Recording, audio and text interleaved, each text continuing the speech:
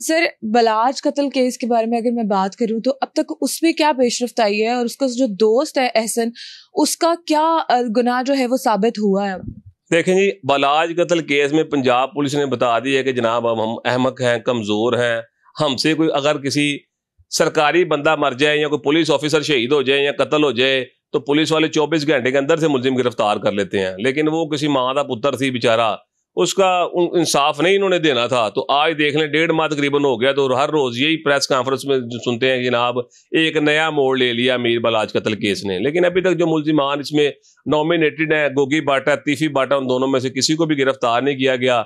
और तीफी बट जनाब पाकिस्तान से बाहर बैठ के प्रोग्राम कर रहा है। वो इंटरव्यूज़ दे रहा है कि जनाब मैं नहीं मरवाया, कातिल कत्ल करके कभी नहीं मरवा, मानता, चोर चोरी करके नहीं मानता मंशियात मंशियात फरोख्त करके नहीं मानता, डाकू डकैती करके नहीं मानता, ये सारे मामला उसी वक्त मानते हैं जब पुलिस की कस्टडी में ये लोग आ जाए। तो अभी तो वो सिर्फ़ इंटरव्यूज़ दे रहा है, अपने वीडियो पैगाम दे रहा है कि जनाब मैंने इसको नहीं मारा या मैं मरवाने में शामिल नहीं हूँ। पाकिस्तान का ये अलमिया बन चुका है कि पाकिस्तान की तारीख में सिवाय भुट्टो के आज तक मशवरा किसी पर साबित ही नहीं हो सका। आप वैसे कानून में बारह बार तब्दीली करते हैं। जिस दिन का कानून में ये अमेंडमेंट होगी ना कि जनाब जो मशवरा देने वाला होगा, उसको भी वही सजा मिलेगी जो सजा करने वाला होगा, जैसे भुट्टो को मिली थी। अगर भुट्टो को फांसी हो सकती है ना तो बाकी जो कत्ल करवाते हैं, मशवरा देकर उनको क्यों नहीं फांसी हो सकती? हमारे मुल्क का ये अलमिया बन चुका कि पंजी तीस हज़ार रुपये का शूटर लेंदे ने, आवारा जो मुंडा चुकते ने, उससे जनाब पंद्रह बीस करोड़, पंद्रह बीस अरब वाला बंदा मरवा लेते हैं। इस मामले में भी ऐसा हुआ है।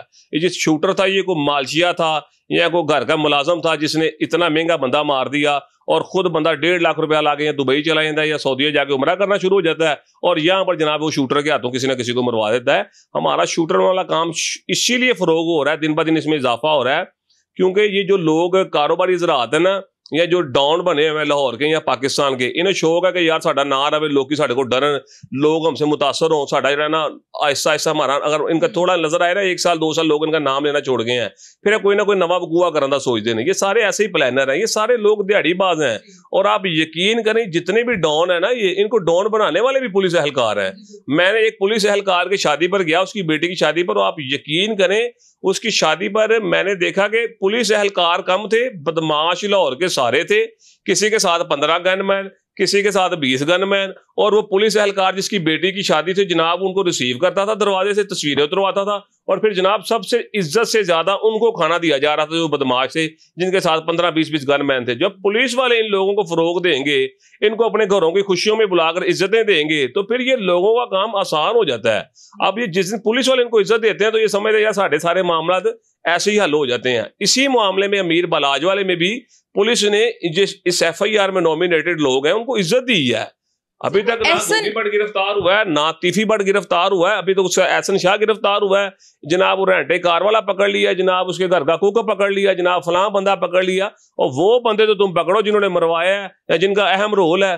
अभी तक ना इन्होंने किसी इंटरपोल से रहा किया है। जो गोगी भट्ट है, वो पाकिस्तान में है। कहीं जगह पर उसका छापा नहीं मारा गया। तो जब पाकिस्तान में जो कोई बेचारा माड़ा मदा मर जाए या जिसको इंसाफ ना मिले तो फिर लोगों का पुलिस पर क्या एतवार रहेगा? ऐसे ही है। सर, हम ये जानना चाह रहे हैं कि ऐसा जो है, उसका गुनाह साबित हो गया? ये एहसन शाह ने इस बात का एतराफ़ किया है कि उसका रबता था तीफी बड़ के साथ। देखें, अभी तक पुलिस इन्वेस्टिगेशन कंप्लीट करके प्रेस कॉन्फ्रेंस नहीं ना कर रही। मैं, आप सारे तमाम लोग सिर्फ़ हवा में उड़ती हुई बातें कर रहे हैं। अभी तक पुलिस ने, जो अभी तक पुलिस की इन्वेस्टिगेशन है, पुलिस ने कहा जनाब, तीफी बट मरवाने वाला है। एहसन शाह जाके, सऊदी अरब में जाके, अमीर बलाज को वीडियो कॉल पर जनाब रोज़ा रसूल की ज्यारत करवाता था। और उसके मुखालफों को उसकी लोकेशन बताता था। लेकिन अभी तक ये बात पुलिस के इन्वेस्टिगेशन में साबित हो चुकी है, लेकिन अभी तक पुलिस ने ना तो एहसन शाह को प्रेस कॉन्फ्रेंस में बिठाकर उसकी तरफ़ से बयान करवाया कि जनाब उस बात का इतराफ़ करता है। अभी तक ऐसा उसकी कोई स्टेटमेंट नहीं आई। और ना ही पुलिस की तरफ़ से कोई ऐसी स्टेटमेंट आ रही है जिससे ये बात साबित हो जाए कि जनाब वो हाँ इसमें शामिल है। लेकिन पुलिस ये बारह बार कह रही है कि जनाब उसके तमाम वीडियोस उसमें से फ़ोन डाटा में से और जो उसका घर का कुक पकड़ा गया, तीफी बट का, उसने कहा जनाब ये एहसन शाह को घर पे मिलने आता था, तीफी बट था, इन तमाम बातों से तो फिर लगता है कि जनाब वो इसमें शामिल है।